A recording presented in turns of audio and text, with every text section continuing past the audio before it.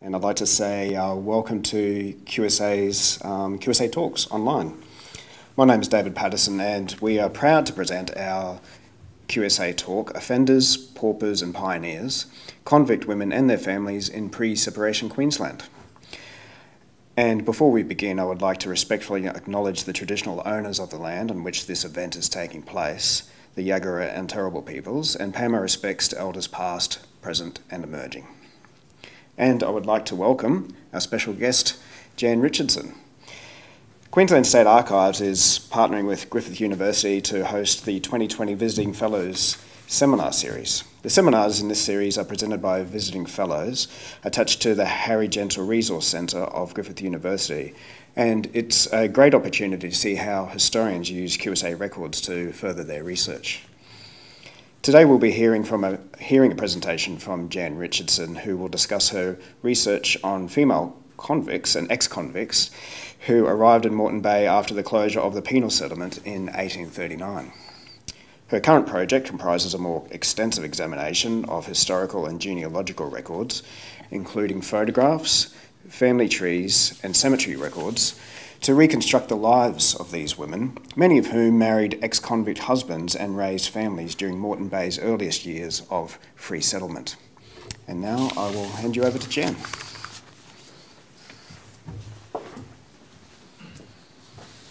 Good morning and welcome to the Queensland State Archives and today's presentation Offenders, Paupers and Pioneers Convict Women and Their Families in Pre Separation Queensland. I would also like to acknowledge that we are gathered on the lands of the Yagara and Turrbal peoples and pay my respects to elders past, present, and emerging.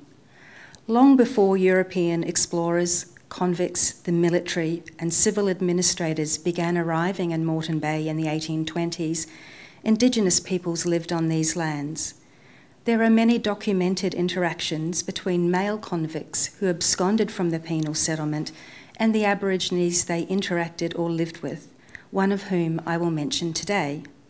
However, as my presentation concentrates on female convicts who lived in Moreton Bay during the 1800s, whose interactions with the region's traditional owners is far less well documented, I will only make brief references to Indigenous Australians present at that time. In 1980, Harry Gentle enrolled as a mature age student at Griffith University, graduating with a Bachelor of Arts in April 1984.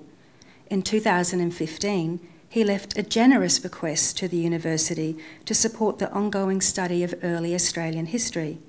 As a result of that bequest, Griffith University established the Harry Gentle Resource Centre to assist and facilitate research on social, economic, political, Indigenous, and environmental histories through innovative digital approaches. Griffith University is thankful to Harry and the Gentle family for their support. I applied for a Harry Gentle Resource Centre visiting fellowship because I am passionate about recovering and telling the stories of convicts and ex convicts who came to live in Queensland after the closure of the penal settlement in 1839. My particular interests are female convicts, as well as those who are non European, including African, Indian, and a small number of Aboriginal convicts and prisoners sent to Moreton Bay. I recently completed a Master of Philosophy thesis through the University of New England titled Shapeshifters and Identity Switches Female Convicts in Free Settlement Queensland. I am also a keen genealogist and have been researching my family history for many years.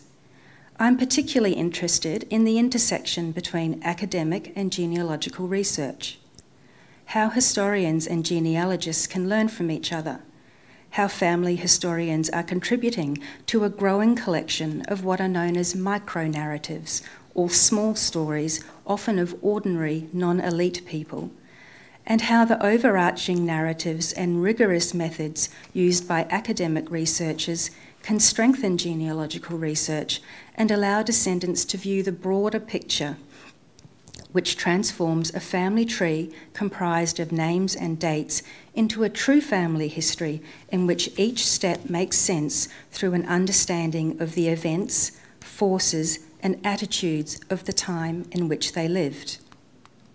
The Moreton Bay Penal Settlement was closed in 1839 and the district opened to free settlement in February 1842.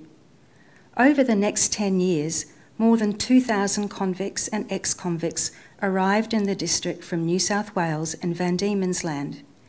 We know this because the 1851 New South Wales census of the northern districts, encompassing Brisbane and Ipswich, west to the Darling Downs, and as far north as Maryborough, recorded about 5,700 adults aged 21 and over.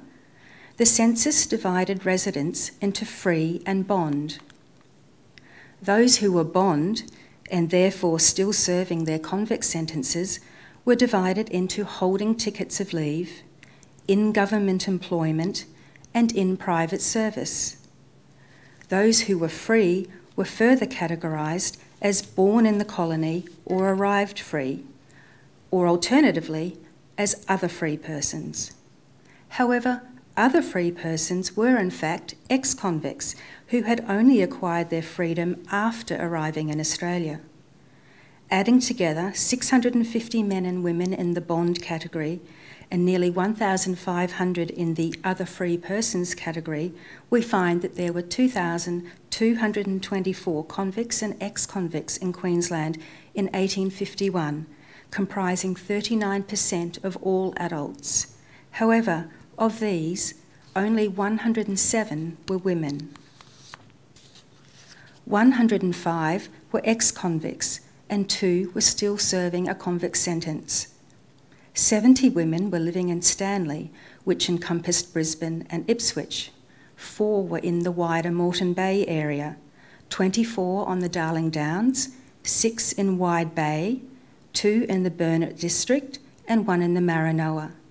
Together, these 107 women comprised less than 0.05% of Queensland's 2,224 convicts and ex convicts. The remaining 99.95% were male.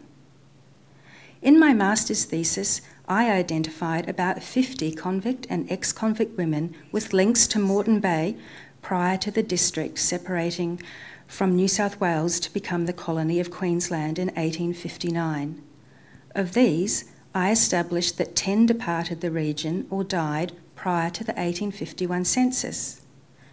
One of these 10 women was Sarah Davis, transported on the Burrell in 1832, who married one of Moreton Bay's earliest settlers, John Williams. She died in Brisbane in 1849. Her brief death notice, simply referring to her as Sarah, the beloved wife of Mr. John Williams, licensed victualler aged 52 years, makes no mention of her convict past.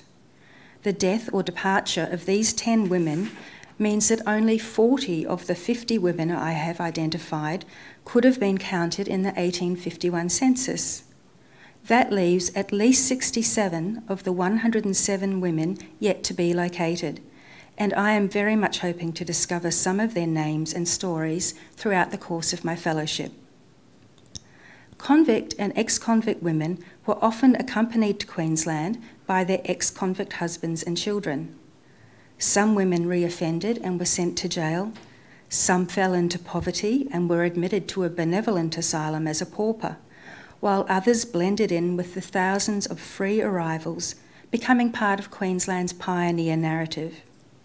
In my thesis, I contend that the contribution of these women and their families to the transformation of Moreton Bay from a penal settlement in 1839 to the newly established colony of Queensland in 1859 has long been neglected. With the exception of Hannah Rigby, whose story I will come to shortly, Queensland histories have concentrated on the male convicts of Moreton Bay and later ex convicts who were considered notable or successful during the free settlement era. To cite just a few examples, the Scottish convict James Davis, also known as Duramboi, was transported to Sydney on the ship Norfolk in 1825 and then to Moreton Bay in 1829. A celebrated runaway, he lived for 13 years with Pambi Pambi, an Aboriginal chief who believed that Davis was his dead son returned to life. Davis surrendered himself to the authorities in 1842 and remained in the district working as an Aboriginal interpreter. He maintained contact with the son he had with his Aboriginal wife, but was married twice after returning to Brisbane in 1842. His second wife, Bridget Hayes, was charged with his manslaughter in 1889. Another well known convict is Thomas Dowse, who was transported to New South Wales in 1828. He arrived in, Br- in Brisbane as a freed or emancipated convict in July 1842, just five months after the district opened to free settlement. Dowse put his hand to many different roles over the years, including ferry owner, auctioneer, correspondent for the Sydney Morning Herald and Moreton Bay Courier, and Brisbane Town Clerk. Through the research of Dr. Jennifer Harrison on the 144 female convicts who served colonial sentences at Moreton Bay, we know that Hannah was married to the convict George Page, who was transported to Moreton Bay in 1826. In 1830, Hannah, by now mother to two young sons, was herself transported to Moreton Bay for stealing 30 yards of ribbon. Hannah's third son, James Rigby, known as Jimmy, was born at the penal settlement in September 1832. However, Harrison's research has revealed that his father was not George Page, who was still at Moreton Bay, but the boat pilot at Stradbroke Island, James Hexton, a free arrival formerly of the British Navy. After seven years at Moreton Bay, Hannah departed for Sydney in February 1837, leaving Jimmy behind with his father. She then stole two hats and, whether by design or accident, was transported back to Moreton Bay in October 1837, where she was reunited with her son.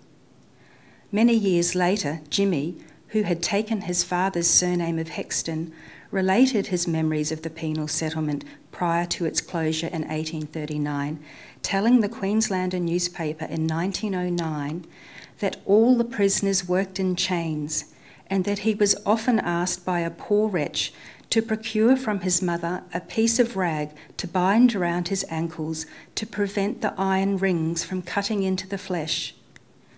Jimmy also said that the convict women, like the men, had to perform hard outdoor labour in the field or farm or at fencing, and that he had met female convicts when accompanying Dr. Ballow, the colonial assistant surgeon, on his fortnightly rounds to the female factory. When the penal settlement was disbanded, Hannah was one of five female convicts chosen to remain as assigned servants during what has become known as the wind down period between 1839 and 1842. She was employed in the service of Dr. Ballow, who recommended her for a certificate of freedom in July 1840. Eleven years later, in April 1851, the boat pilot James Hexton drowned when his vessel capsized in rough seas on his way back from Cape Horn. Hannah died in Brisbane in October 1853 from apoplexy, likely a stroke, after attending a neighbour's wedding festivities. She was buried at the site of the original St John's Church on the western side of Queen Street near the corner of George Street. During the penal era, this was the site of the convict lumber yard and workshop. In 1842, the Church of England converted the workshop into St John's Church. Unfortunately, the building was demolished in 1902 and the Treasury Hotel and Casino is now located on the site. While there is no known photograph of Hannah Rigby, there are several documents acknowledging her presence in Queensland after 1839, including Jimmy Hexton's death certificate, which names his parents as James Hexton, pilot, and Hannah Rigby. In addition, as mentioned earlier, Jimmy's childhood reminiscences of convict days and memories of his mother were published in the Queenslander newspaper in 1909. And when Jimmy died in 1914, the Brisbane Courier published his photograph under the heading The Oldest White Native. But what of the other women who came to Moreton Bay after the penal settlement closed in 1839? To repurpose the phrase so memorably coined by historian Tamsin O'Connor, the stories of Queensland's female convicts have, for the most part, been relegated to a zone of silence. So, how do we go about locating the first evidence of their presence in Queensland?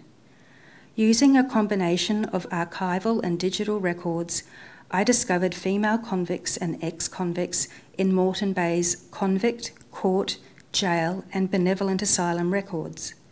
Others were first located in academic and local histories, and I have been very fortunate to have made contact with descendants of female convicts who have generously shared their research with me. Perhaps rather obviously, the first group of records I consulted were convict records, including digital images of the Moreton Bay Book of Trials covering July 1838 to February 1842, available on the QSA website, as well as convict tickets of leave and convict applications to marry, which have been digitised by New South Wales State Archives. One of the women identified through these records is Jane Appleyard, who arrived in Sydney on the Mary in 1835. In 1837, Jane was reported as a runaway from her assigned employer in Sydney. Evidence was given that Jane was in an advanced state of pregnancy and had for weeks past given herself up to melancholy and been frequently found in retired parts of the house, crying the reason for which she would not disclose. Sent to the Parramatta Female Factory, she had a baby boy, Thomas, but he died aged five months. Three years later, in August 1840, Jane re entered the female factory to serve a 12 month sentence with hard labour, the last three weeks in solitary confinement for forging an order. In June 1841, near the end of her sentence, Jane's one year old daughter Rose died at the factory and was buried at Parramatta. Jane was then sent to Moreton Bay as an assigned servant to Andrew Petrie, the foreman of works.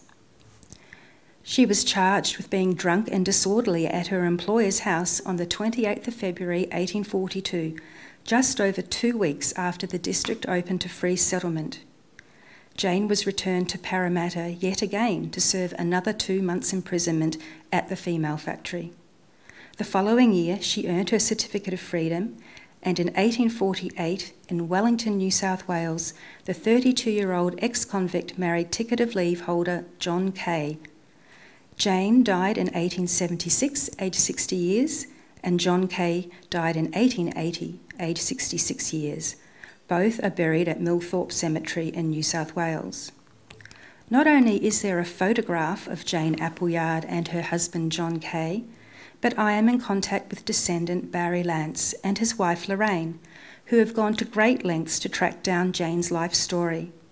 Through visiting the archives and other sites in York where Jane was born, they discovered that she was an illegitimate child and was educated at the Grey Coat School, a charitable school which prepared orphaned girls for domestic service. In 1834, Jane, aged 18, was arrested for stealing a tobacco box containing two five pound notes. As she had previously served time in jail, she was sentenced to seven years transportation. Despite her difficult start in life and the deaths of her first two children, Thomas and Rose, at the Parramatta Female Factory, as well as being sent to Moreton Bay in 1841, she persevered, married the ex convict John Kay, and raised a large family in New South Wales, which is very proud of their convict heritage and actively seeking further recognition of Jane's remarkable story, including her time at Moreton Bay prior to the commencement of free settlement. The next category of women I searched for were convicts granted tickets of leave or permission to marry in Moreton Bay. Only one woman received both. Mary Langley was tried in England in March 1840 for feloniously making on the 12th of February three pieces of counterfeit coin intended to resemble and pass for three of the Queen's current coin called sixpences. Sentenced to 10 years transportation, the 34 year old Langley arrived in Sydney on the ship Surrey in 1840. In September 1845, she obtained a ticket of leave for Moreton Bay. Just six weeks later, aged 39, Mary Langley applied to marry ticket of leave man Henry Skinner, aged 51, a convict transported on the Lady Kennaway. They were married by the Reverend John Gregor in Brisbane on the 19th of December 1845, possibly the first and only marriage of a female ticket of leave holder in Queensland. Henry Skinner arrived in Moreton Bay in October 1839 as one of the prisoners sent north to maintain the settlement's buildings and other assets during the wind down period. He chose to remain and was granted a ticket of leave for Moreton Bay in April 1842, so was already here when Mary Langley was granted her ticket in 1845. The Skinners had one son, Thomas, born in Brisbane in 1850 when Mary was about 44 years old. Henry died in 1864, aged about 70. His estate consisted of cattle, stock and trade, an allotment on the corner of George and Turbot Streets, on which there was a cottage, a smithy, and the Western Railway Hotel, a paddock at Milton, land at Enoggera, and a residence at Milton. So clearly, the ex convict couple had done well during their years in Queensland. Mary died in 1878, aged 72 years, and was buried at the Toowong Cemetery. Unlike Kevin Izod O'Doherty's elaborate memorial, Mary Skinner's headstone has long since disappeared, and all that remains is a bare plot covered in leaves. Early court records for Brisbane and Ipswich are very patchy for the 1840s, and some of the women located in these registers were only present in the district for a short period or cannot be traced in Queensland after their court appearances. However, jail records have proved a fruitful avenue of research. The first admissions register of the Brisbane jail covers a 14 year period from January 1850 to February 1864, including the 10 years that the jail was located in the old female factory on Queen Street, now the site of the Brisbane GPO. The admissions register recorded each inmate's ship, year, native place, religion, and trade or calling. In addition, the condition of convicts and ex convicts was described using terms including bond for those who stayed in the colony as, sorry, who arrived in the colony as convicts or who were still serving their original sentence, T of L for ticket of leave holders, and F by S for those who were free by servitude. Of the 4,500 admissions between 1850 and 1864, only 446, or about 10%, were female.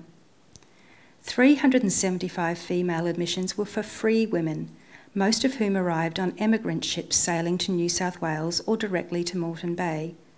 Others were born free in Australia or described as Aboriginal or dangerous lunatics. The remaining 71 admissions related to 22 women described as bond, ticket of leave, or free by servitude, or who my research has confirmed as having been transported as a convict.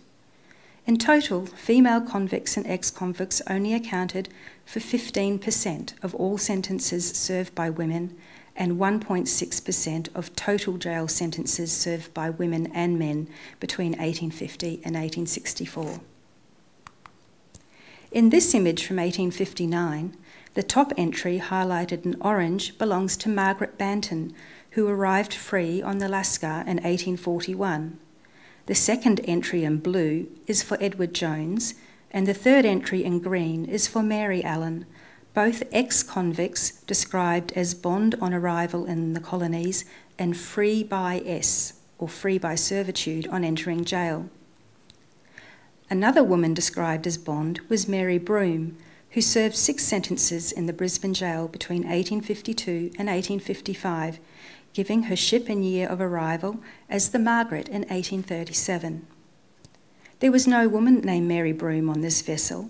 However, there was a Margaret Corcoran, and she married Stephen Broom in Newcastle in 1840.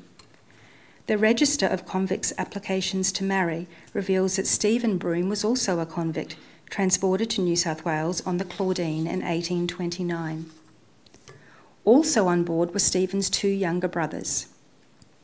Stephen, aged 21, James, aged 18, and Charles, aged 16, were sentenced of the same offence, stealing two bottles of grape wine, and all were sentenced to death. However, they were reprieved and sent to a hulk at Devonport in May 1829. Unfortunately, there was no happy ending, as the youngest brother Charles, by now 17, died on board the Claudine and never made it to Sydney. The ship's surgeon, William Trotman, initially described Charles' complaint as a cold, but later wrote that he had an inflammation of the mucous membranes of the throat, stomach, and intestines. Trotman added that if he had bled him more instead of concentrating on the pulse, he might have saved him. Just over 10 years after arriving in the colonies in mid 1841, Stephen and James Broom, who had tickets of leave for Newcastle and Maitland, were both granted a ticket of leave passport, which allowed them to proceed to the Darling Downs in the service of Mr. John Eales for 12 months. James received another 12 month passport for the Darling Downs in July 1842, but I haven't been able to locate an extension for Stephen. Nevertheless, the brothers were among the first convicts permitted in the district, even before free settlement commenced in February 1842. Perhaps they remained working on the Darling Downs until Stephen's wife Mary was also able to move north. The first evidence of Mary's presence at Moreton Bay is her 1843 Certificate of Freedom, which was notated Brisbane, 29 December, in the margin. Queensland's newspapers regularly recorded the presence of Stephen, Mary, and James Broom. In 1848, a neighbour complained that for the past five years, Mary had frequently annoyed the South Brisbane neighbourhood with her turbulent conduct while in a state of intoxication. In 1849, she was referred to as an old familiar face who exhibited a melancholy and disgusting example of habitual drunkenness and in 1849 and 1853, Stephen Broom took out advertisements cautioning the public not to harbour nor give credit to my wife, Mary Broom. She also appeared before the Brisbane Court of Petty Sessions in June 1854, charged with drunkenness, and was fined five shillings. However, perhaps there is more to this story, as in 1852 James Broom was fined £3 for maltreating Mary Broom, his sister in law. In addition, we learn from Mary's death certificate that five of her ten children died young, including the last Anne, who was born prematurely and died at Ipswich in September 1860.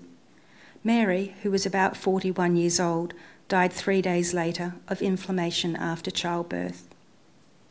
Stephen and his brother James became farmers near Ipswich, and they died in 1880 and, 1889, both aged in their 70s.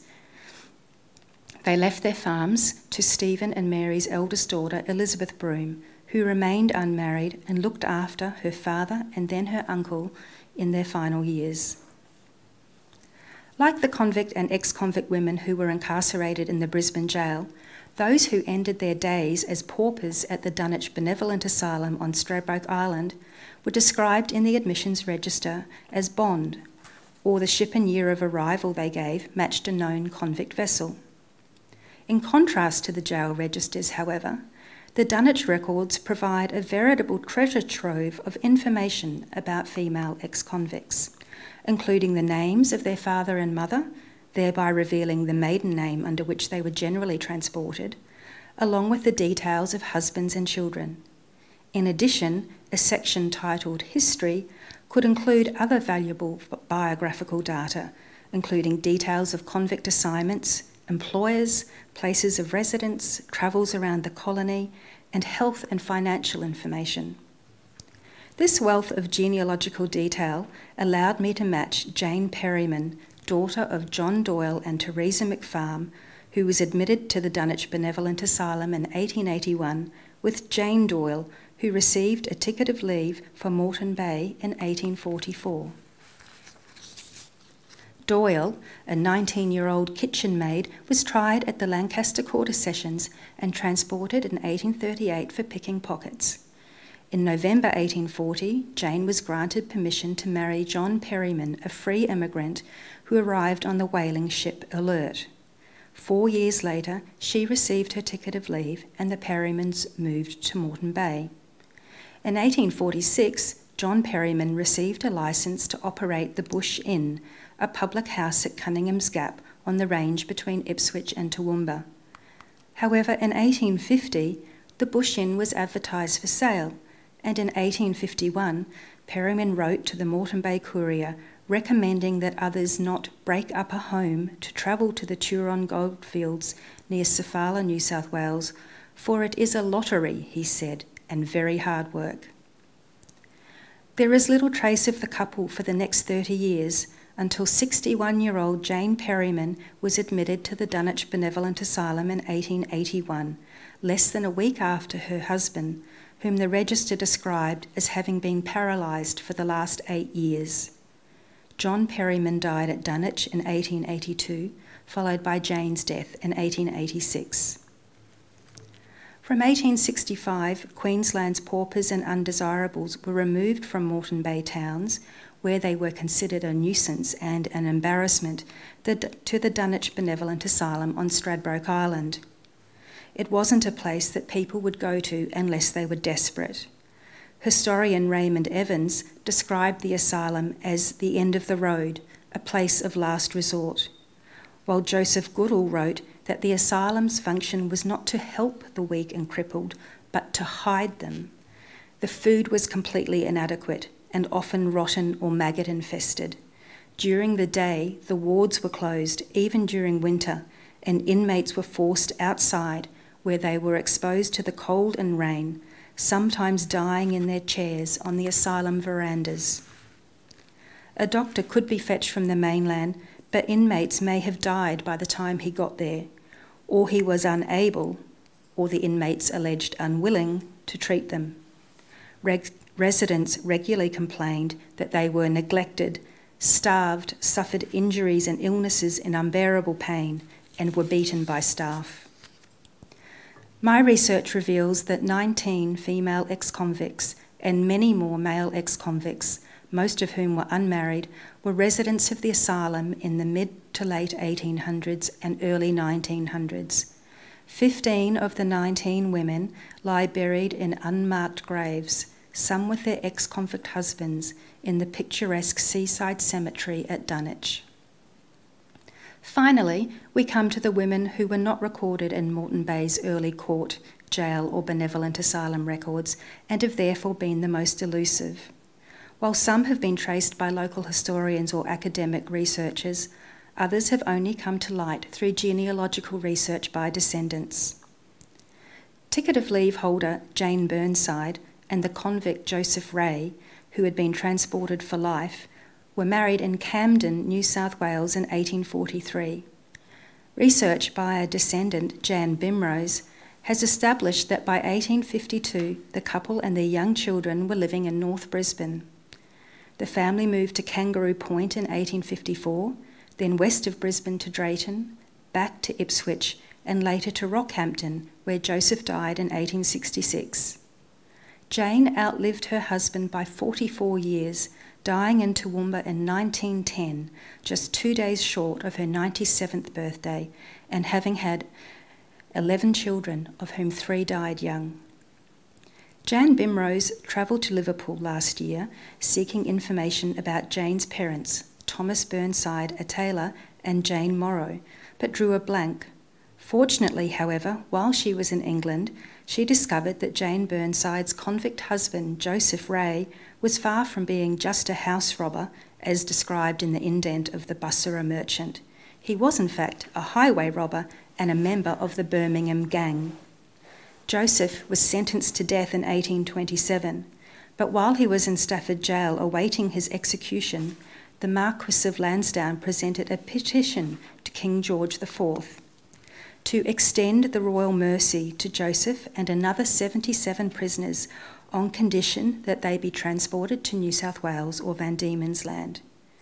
As Jan Bimrose wrote in her email to me, King George IV obliged, and I get to tell the story. Thank you, King George.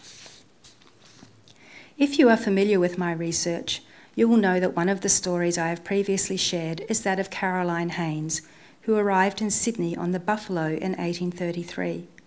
Caroline's story has come to light through research by descendants, including that of Barbara Baker, who has been kind enough to share photographs of Caroline with me, while other images have been shared by descendants on Ancestry.com.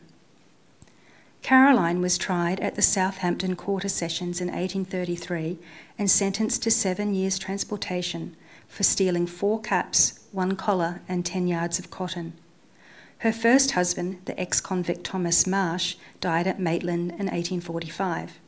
Caroline then married ticket of leave holder Robert Schofield.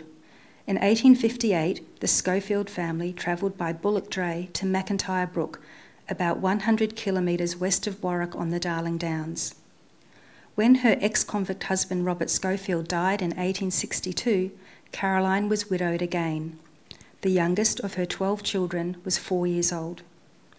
Caroline spent the rest of her years on family properties at Purwell and Hillsborough before dying aged 89 at her daughter's house in Roma in 1907.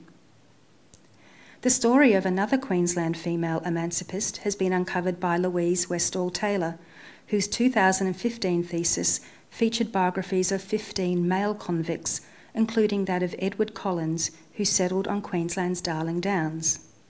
Collins, who was transported to New South Wales in 1830, was retransported to Moreton Bay in 1835 for two years on a colonial sentence for assault. After his return to Sydney in 1837, Collins married Margaret Lane, who arrived on the convict ship Margaret that year. In 1842, the couple were based at Scone in the Hunter Valley, but by 1852, Collins had purchased land at Warwick and commenced a cartage business. In 1863, Margaret died in an accident on a steep section of road halfway between Warwick and Ipswich. A report in the Toowoomba Chronicle stated that Mrs. Margaret Collins, an old resident of this town, met an untimely end whilst proceeding to Ipswich on a bullock dray, in company with a person named Lambert. On going down the range on the other side of Berdoffs, the wheel of the dray struck against a stone, and the unfortunate woman was precipitated upon her head. She was taken up insensible and never spoke afterwards. Her grave now lies in the Main Range National Park at Spicers Gap. Signs record that she is one of up to 13 pioneers buried at the site, and that the narrow section or pinch of road where Margaret died is known as Mother Collins Pinch. However, there is no mention of her convict past, nor that of her husband, who served two years at the Moreton Bay Penal Settlement and returned 15 years later to live on the Darling Downs. Lastly, we come to the story of Sophia Grantham, a bonnet maker, transported to Van Diemen's Land on the Rajah in 1841. So far, she is the only female Tasmanian convict I am aware of who made her way to Queensland prior to 1859, though I should point out that my master's thesis details another 11 female convicts from Van Diemen's Land who arrived in Queensland after 1859. One of these women, Margaret Reardon, who was transported to Hobart on the ship Maria in 1849, didn't move to the Darling Downs until 1910 before dying there in 1915, aged 83. As revealed by Trudy Cowley and Dianne Snowden in their book Patchwork Prisoners about the women transported on the Rajah, the unmarried Sophia Grantham had two children before marrying John Tregilgas, a mariner in Hobart in October 1845. The family sailed for Melbourne, where Sophia's son died in an accident. By 1855, the family had moved again and were settled at Taroom on the Dawson River, about 200 kilometres south of Rockhampton. In December 1860, John Tregilgas placed an advertisement in the Moreton Bay Courier seeking to defend his character. Sir, I wish to mention to the public at large how I came to this country. I came in the favourite sloop of war and was a second class boy when Captain Croker lost his life at Tonga Tabou. I was married in Van Diemen's Land to one Sophia Keziah Grantham, which was a servant of Parson Turner's and was married in the Wesleyan Chapel in Hobart Town by Mr. Manton. And if anyone can say that I am a thief and a robber and the worst character on the Dawson, let them prove it, and not say the government will take such a case in hand. However, it was not just the public at large who took exception to the character of John Tregilgas. Cowley and Snowden write that Sophia displayed great strength of character in divesting herself of her husband and bringing him to court in Rockhampton. In fact, as reported in the local newspaper, she had a magistrate's order dated 25th September 1865 to live separately from her husband, and since that time she had lived upon her own earnings. Unfortunately, Sophia's health gave way in 1873 when she was only 52 years old. A few weeks later, her only surviving child, Ruth, died from septicemia following childbirth, leaving behind a husband, a newly born baby, and five older children. Sophia, who is also known as Keziah, is buried at the Springsure Cemetery to the west of Gladstone under the name Keziah Tregilgas.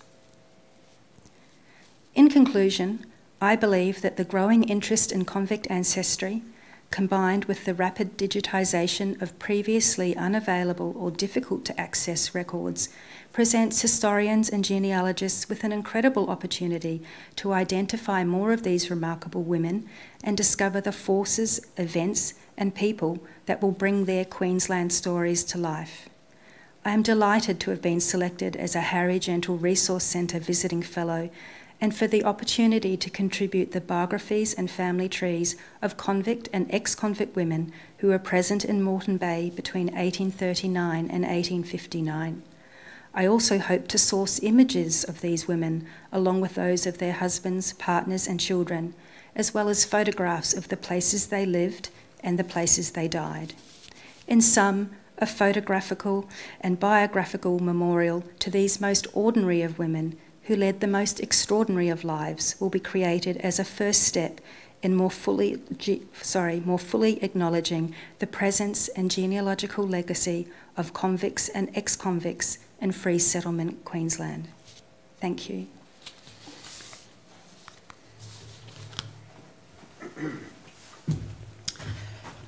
Thanks very much, Jan. Um, that was amazing. Um, it was really enjoyable, and thanks for, so much for sharing your research with us. Um, it just goes to show what a um, amazing bunch of women started this, well, continued with this place, and um, what a sort of deeply troubled past we have as well. We also have one question um, from Caroline. Hello, Caroline. And this might test you a little bit. Um, were James Davis and Sarah Davis, married to licensed Victoria Williams, related by any chance? over to you to answer that tricky one. Um, thanks, Carolyn. Uh, no, as far as I know, they're, they're definitely not related. Uh, James Davis was born in Scotland, um, and uh, Sarah Davis uh, was born in England. In fact, she was married and had four children before she was transported. Um, so I, I don't believe that they are in any way related. That is just a coincidence. But thank you for your question.